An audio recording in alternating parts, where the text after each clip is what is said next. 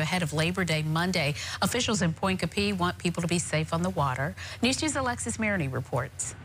Sylvia, the best part about Labor Day for a lot of folks is hanging out on the water with family and friends.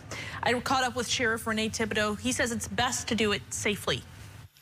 Just in time for Labor Day, folks are already hitting the False River. So it's a, a, lot of things you can do in the river. A lot of people get in the water just to cool off. But whether your Labor Day weekend includes fishing or a boat ride, just be careful. It's important to keep your head straight this Labor Day.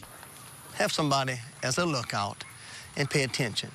You know, if a child falls off of a, a inner tube, uh, make sure you're a safe distance from them.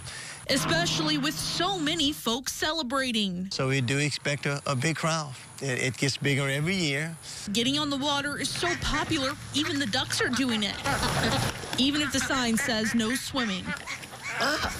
And if you weren't born with feathers or webbed feet, staying safe on a river or a lake might not be second nature. But here's some things to keep in mind before you dip your foot into the water to keep cool this Labor Day.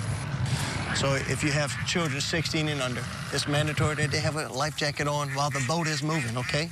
Earlier this year, a three-year-old boy drowned on the False River, and another child was run over by a boat. So we ask everyone to please wear the life jackets. And most importantly, Sheriff Renee Thibodeaux says avoiding an accident Monday starts with having a clear head. Operating a boat is just like driving a car. Uh, no drinking and driving. He says wildlife and fisheries will also be on the water all Labor Day weekend long. Sylvia?